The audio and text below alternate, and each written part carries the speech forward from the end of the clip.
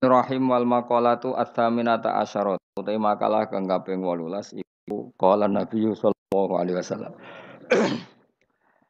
Dawe Kanjeng Nabi inna fi jam'il mali khamsata asya'a. Inna mali sak temene ing pola donya khamsata asya ana 5 pira-pira perkara. Ati sing pira-pira sifat al-madhum kang den wada utawa kang ada lima bagi orang yang mengumpulkan harta. Siji al anak iku repot. Di mana anak repot. Ayu dilata tegese dadi ino. Wa husul al masyaqqati lan hasile kerepotan. Fi jamihi ing dalam ngumpul donya. Wa syughla lan dadi sibuk sibuk tersibukkan ang zikrillah Allah taala bi islahi kelawan namen nata donya. Ilmani tegese donya. Wal khaufa lan sibuk wedi min salibihi saking wong sing iso mbredel donyane.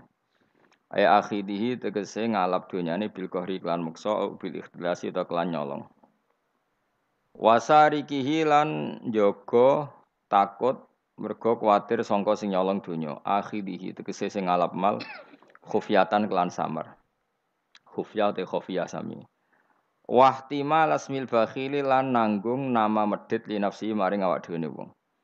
Di wong ngumpul donya terus gak tau sedekah kudu siap dicap napa medit. Wa mufaraqata solihina lan kudu siap pisah mbek wong soleh-soleh min ajlihi krana arah donya. Eh min ajli khidmatil mali tegese sanging arah ngidmai donya. Wa fi tafriqihi. Eh wa inna fi tafriqihi lan sak temne ing dalem bagi-bagi donya. Ail mali tegese bagi donya bi ijraihi kelan nglakokno mal dilakokno ala sabilil khairi ing atase dalan keapian. Ai wa inna fi tafriqi khamsata asya'a no lima pira-pira perkara minas sifati sing pira-pira sifat al mahmudati kang den puji. Siji rohatan nafsi iku tenangi jiwa, ail badani tegese tengane badan. Minta abi tolabihi saking repote golek donya, ilmani tegese golek donya. Wong nak ngumpul donya kemudian niate dibagi ning keapian niku uripe tenang. Wal faragha lan apa fokus li zikrillah krana Ayi tabattula tegese fokus. Tabattul manane ing kita ing kita fokus ila zikrillah maring eling Allah taala. Kata tengene Quran wa tabattal ilaihi tabtilan manane fokus eling Allah. Wal ing kita ilan terputus sangka liyane Allah. Min khifdihi terputus sangka amen ngurusi dunya. Jadi dia fokus eling Allah, dia terputus hubungan nembek dunya. Maksudnya terputus ora kakean mikir dunya wal amnalan aman ay adamal khaufi tegese ora wedi min salibi saking wong sing bredel dunyane wasari kilan sing nyolong dunyane wa wa tesari ku ala khidu sing alap min makhruzin saking barang sing dijogo bi khafidin kelan pengreksa sing reksa au bi makan untuk ing dalam tempat bila syubhatin kan tanpa syubhah kelan tanpa status syubhat syubhat itu dunya sing remang-remang ya. Tiswa basmil kailan untuk nama ulya utawa lomo li nafsi maring awake wong. Wa musahabata sholihin lan ngancani wong saleh li firaqi krana misah dunya. Dimaksude wong nak bagi-bagi dunia itu untuk status lomo berstatus gampang ngancani wong soleh li firaqi krana dene ora terikat mek dunya. Maksudnya firaq itu dunya kancanan wong soleh Kala dawu sapa ba'dul fusaha sebagian wong sing ahli sastra. Juga judur rajuli utawi lomane wong lanang. Iku yuhabbibu. Iku iso nyenengno apa lomane wong lanang hu ing rajulila adati maring musuh-musuh rajul. Dadi wong musuhe akeh lah nak lomo, bahkan nglomani musuhe mesti dadekno disenengi. Wabuh utawi medite rajul. Wabuh luhu te medite rajul yubuhiduhu iku iso gedhe apa buhluhu ing rajul. Auladi maring anak-anake rajul. Dadi wong nak medit anake apa gedeng. Lah ning tanggane diservis mbek wong tuane. Gak diservis akhirnya luwes seneng apa? Tanggane. Nyilah sepeda motor wae bapake ora oleh, malah akhirnya nyilah kancane. Akhirnya ra utang jasa mbek bapake, utang jasa wong tuane. Kalau nanti cerita elek banget, orang terima elek-elek banget. Ada orang soleh, ya rada goblok, mestinya ya goblok. Wong soleh itu saking fanatik ya anak, didik anak ora oleh numpak sepeda motor, ora oleh nyetel TV. Sehingga cerita wong soleh itu tuwek Sepuh-sepuh meh mati nu sowan kula, mbek nangis. Anak iku ilang atau tentangeran mending di irang. Gara-gara iku Pertama cai ku iso numpak sepeda motor ya disilai kancane, roh rasane ndelok TV ya disilai tanggane. Akhirnya nyuwun sewu tonggo iki lala rapati salat, rapati salat ngejak anak wong saleh iki merantau ning Jakarta. Akhirnya lam yusolli, ah katut ra salat. Ku nangis. Nangis itu siji nangisi anak, eh nomor loro nangisi tobat.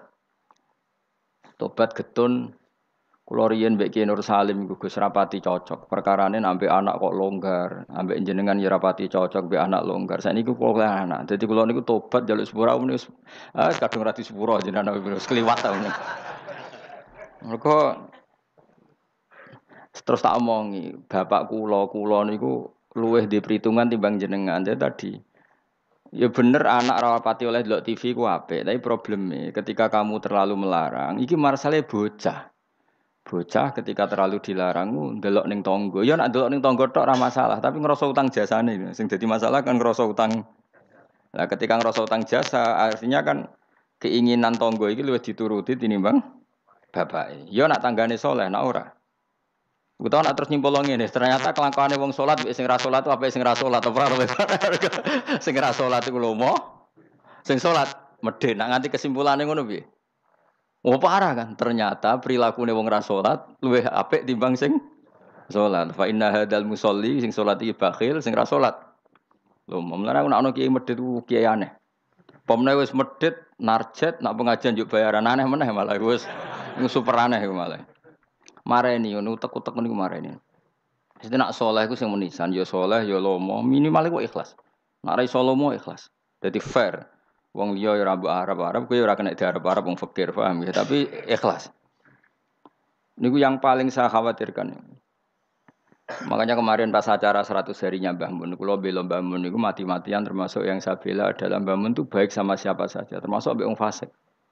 Karena tadi kalau orang fasik itu utang jasa mbek wong soleh, setidaknya kepengen niru wong soleh. Tapi nak wong fasik hanya punya utang jasa mbek wong fasik, dia akan selalu terikat sama orang fasik. Misalnya ketemu konjone fasek disangoni, ketemu konjone fasek ditraktir. Pas ketemu wong soleh di sini sih. Akhirnya wong soleh dendam, ambil wong fasek tertarik kan.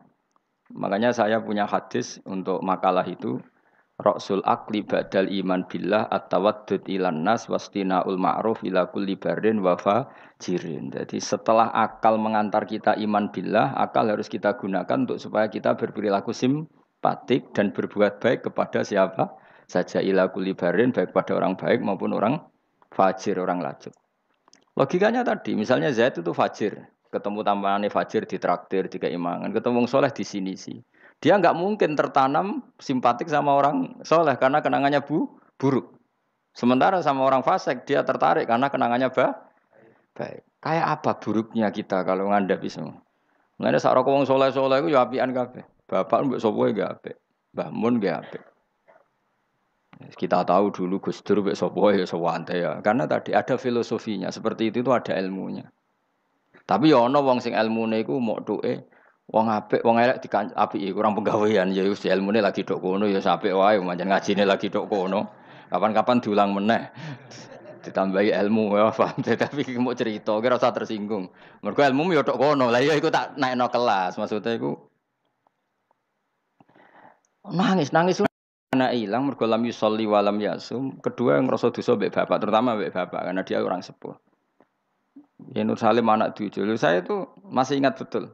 Zaman Romusum wong di TV niku kiai pertama di TV nak sarang Mbah Mun nak naruhan bapak. Mbah Mun adalah TV ya ora kadang lawangnya dibuka. Tamu ya ora nak Mbah Mun ningali TV. Pas iku kiai delok TV ku JF. Mbah Mun santai. Lawangnya dibuka delok TV. Dulu ya kiai do eskal cuma wong alim biasa dorawani kan biasa kan sing melanggar wong alim kan dorawani.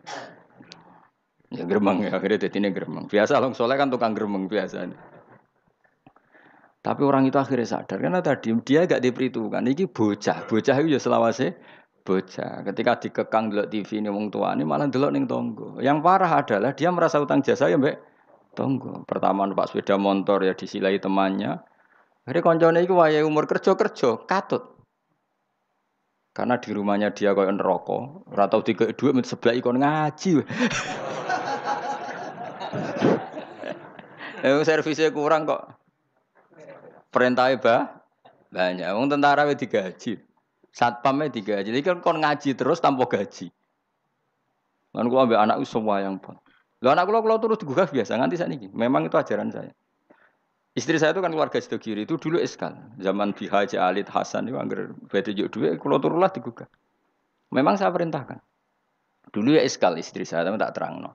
Orang paling harus terganggu oleh anaknya itu orang tuanya. Nah aku radi digugah terus jaluk mbak-mbak kangkang sakit mbak-mbak kangkang. Orang harus terganggu oleh anaknya itu orang tuanya.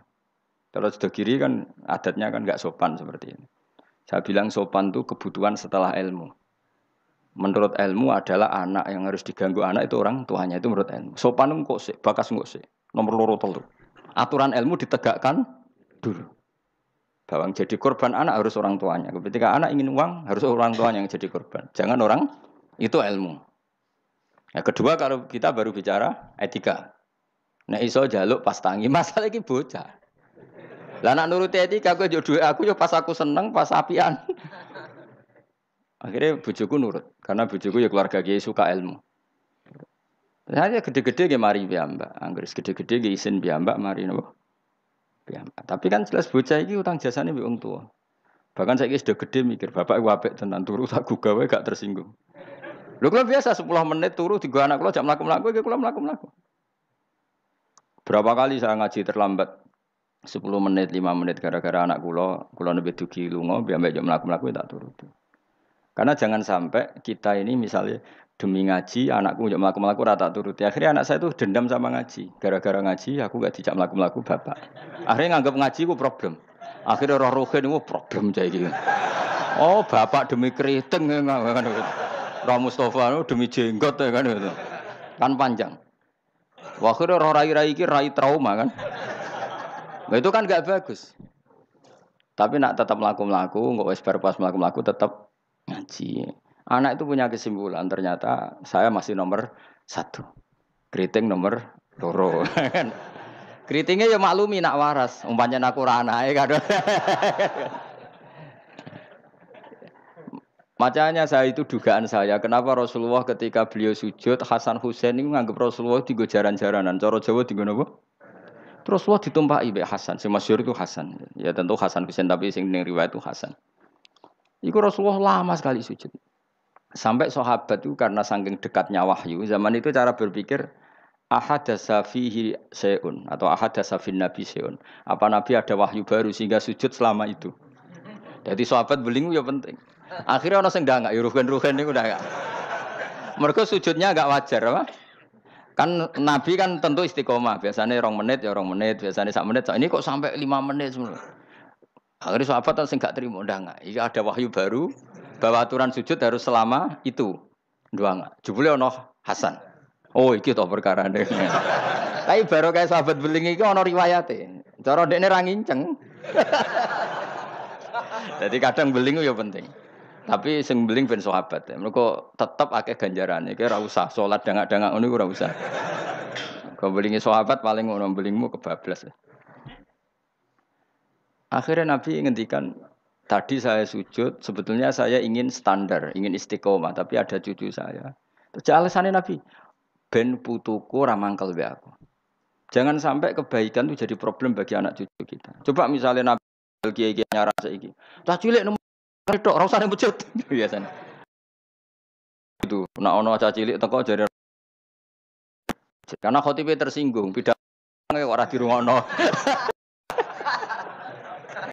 Dia momen jadi khotib kan ngono kok diganggu apa? Biasanya sing ngamuk khotib. Dulu pernah beberapa masjid itu kayak pengumuman anak kecil kan. Iku sing lawan kula tangan tidak kok. Ben dolanan nang masjid. Dolanan germa malah kowe sebab bingung. Ngrame ya tapi gak gue khutbah, gak penting syarat rukun. Secara aku ini serap penting, penting. Kalau cuma ten rata meneliti ngono. Tapi yang saya pastikan gini ya, secara ilmu, ilmu itu muqaddam alal adam. Ilmu itu harus didahulukan alal adam. Ada hal-hal tertentu yang menang adab, tapi yang ilmu yang tidak wajib. Tapi nak ilmu fardu ain pasti menang ilmu. Jadi ya mau tadi misalnya. Akhirnya anak kulo nggak biasa gugah kulo. Nganti saya nggak biasa. Sing terutama sing alit, nak sing gede dia isin dhewe. Karena tadi bojo kula tak omongi ngono, kena ape lunga tadi kepentingan harus gugah saya ya gugah. Yang harus diganggu seorang istri adalah suaminya.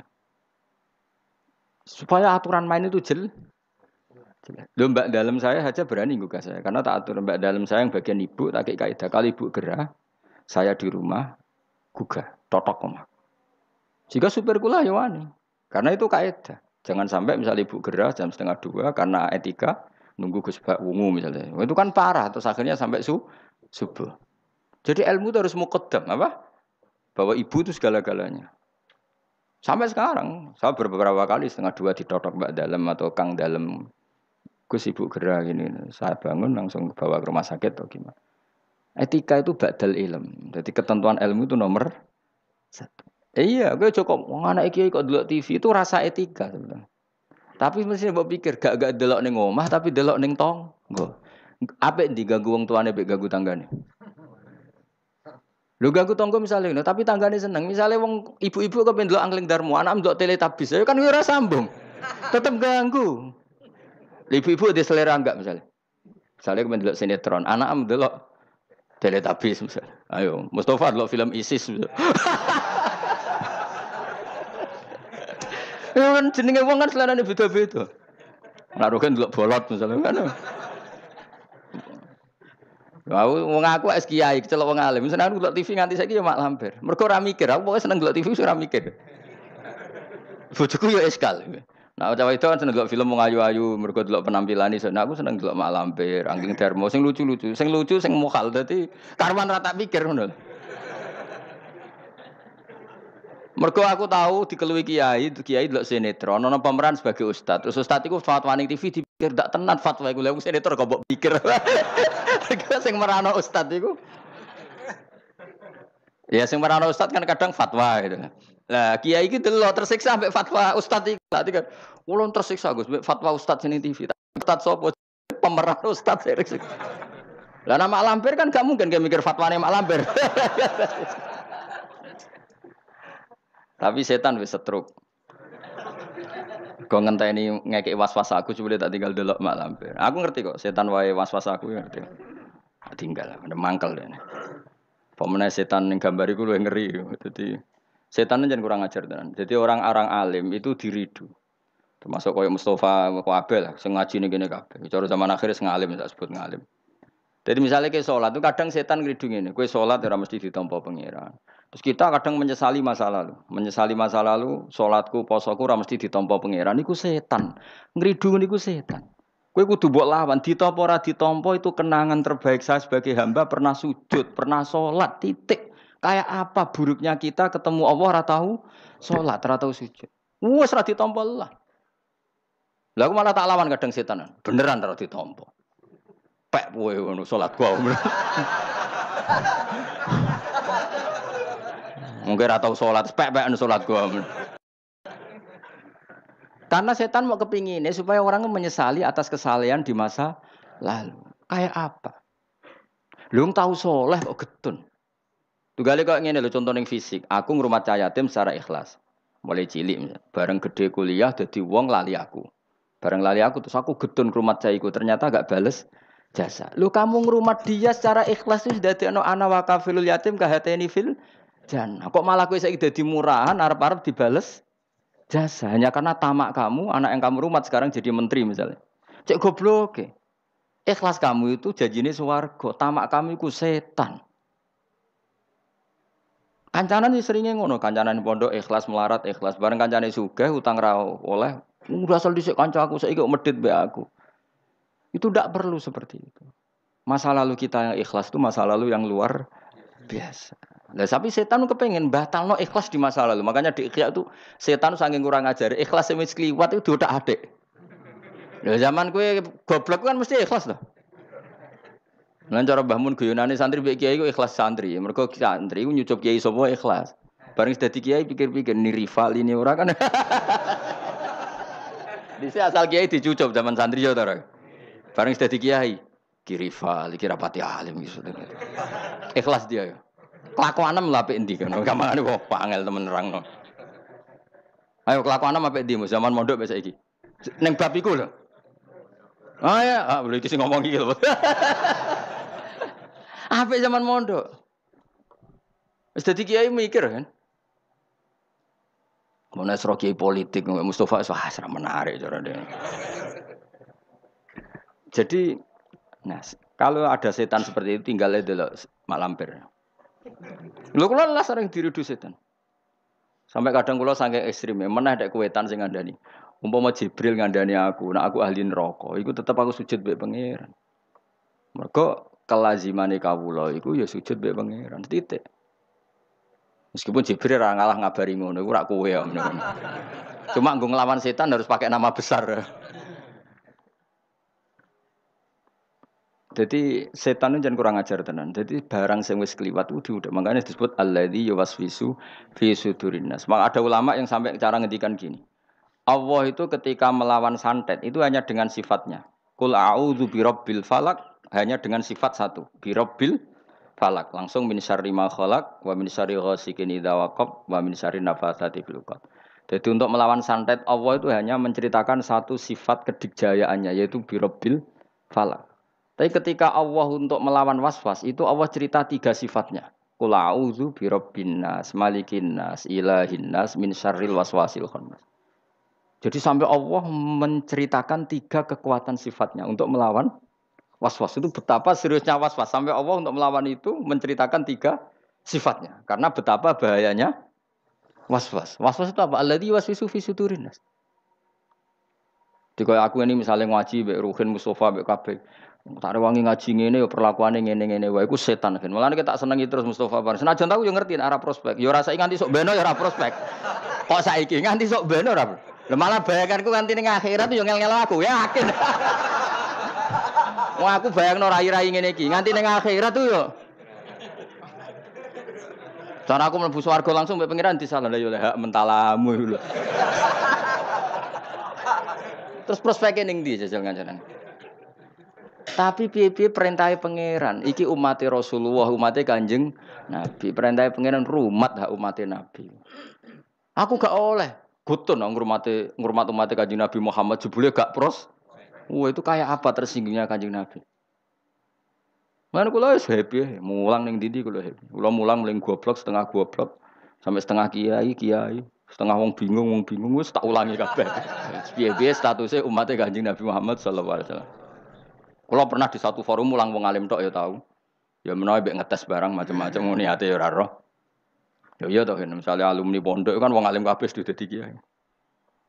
Mbah Mun sange senenge kula, kula sering kan mulang teng alumni, Mbah Mun teng dalem tak takon cadel, ini Mbah Mun eh apa?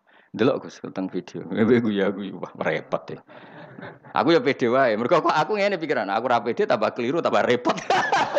Santai.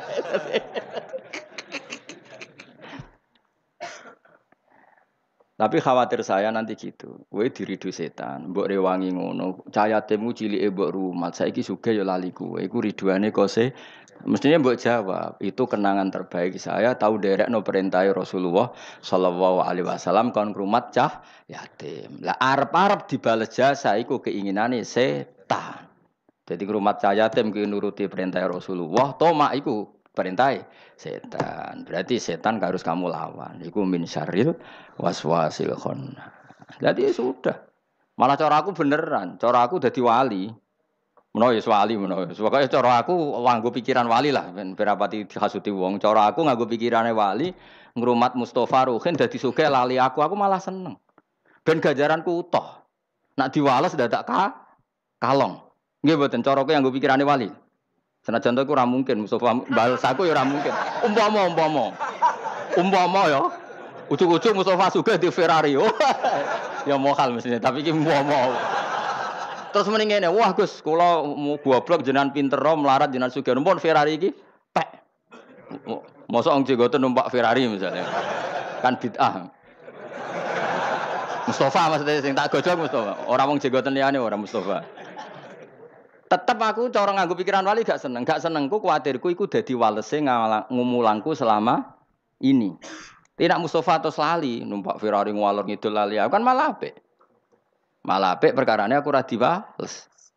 Cuma aku ya donga muga-muga gelem ngaji meneh. Saiki malah kok malah ngegang ning mall Pak Fer. Senajan itu mokal ke bayangno ora mokal. Wonge jenggoten khusuk ngene terus ngono mokal gak? Tapi tetep mungkin lho pangeran. Tapi nek iso ya aja. Wis khusuk ngene kok. Aja Mas. Lho kan gelem tak dongakno, dongaku. Dongaku mandi, yakin mandi. Pokoknya aku donga sing aneh-aneh aku mandi mesti. Gelem ora, ora gelem tak dongakno saiki. Mosok sampeyan akeh ngamini gak mandi.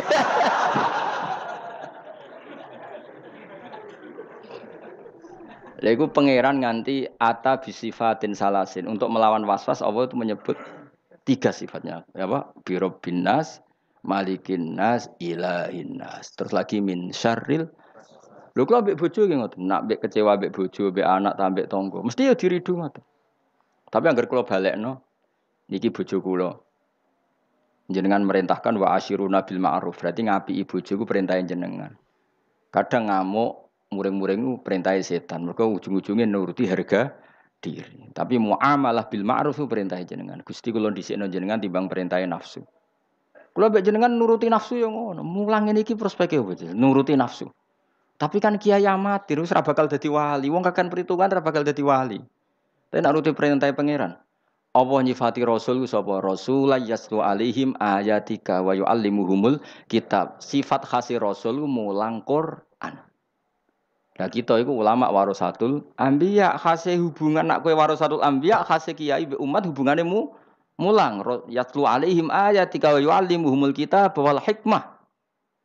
Lha ulama ambek umatnya kok hubungannya di manajemen. Umat sak menaki tak wajib nusiaroh selisih biro misalnya. Iku ora hubungannya ulama ambek umat, paham ya? Iku pedagang. Tapi ono sing ngono ya oleh ben duwe selingan lah. Nah, kapan-kapan gelem tak jak. Jadi kalau suwon, pokoknya was-was harus dilawan. Ya, was-was itu harus termasuk wedi suul khotimah itu tuh lawan. Tak rewangi sholat ngene, tak rewangi ibadah ngene jebuli aku kok nang suul. Iku tuh lawan. Wes suul khotimah Allah sementara kamu tahu sujud. Karena keinginan setan itu sebetulnya hanya supaya kamu tidak nyaman dengan ibadah.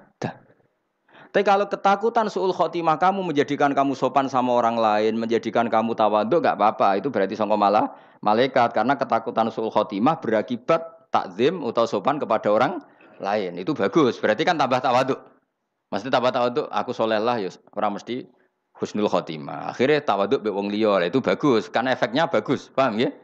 Tapi nak terus gak nyaman dengan ibadah kamu di masa lalu karena takut tetap suul.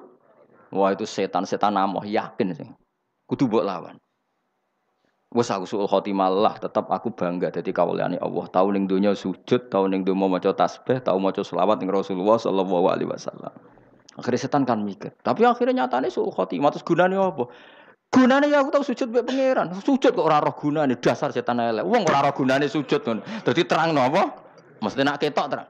Lho omongan ngono kan wis gua pulok gedeng. Wong gunane apa kowe sujud nak akhire suul. Wong kok ora gunane. Sujud itu tegale ngene, gunane apa aku mangan nak terus ngising ke sunah. Kok ora takok ngono? Lho padha-padha akhire le sunah lho. Terus ki ape mangan, moh aku mangan kenapa? Sok ben sunah. Gendeng to ora? Gak gendeng ora? Ya padha, wong tahu sujud kok getun suwe tanammu tenan. Ya dong ya. Awas entuk kancanan setan. Aku pegatan suwi kok cek akrab. Oh, aku pegatan suwi. Kowe cek akrab itu. Kowe cek kenal Mas setan. Setan itu seneng godho wong khusuk lho Mas. Sing kok dapat digodhog. Gak menarik cara setan itu. Kan wis nyerempet-nyerempet salah tadi. Wong khusuk tambah semangat. Gudong khusuk ora kasil setan malah sekomen cari referensinya. Jadi kan aku pernah digodoh setan, mus. Kau tuh beling kau rugen. Kok setan sing godoh, mau setan TK. Mereka gak perlu naik kal. Tapi nak kau khusuk, setan belajar meneh. Referensi ini diwajib. Rahim wal makolatu at-thaminata asyarat.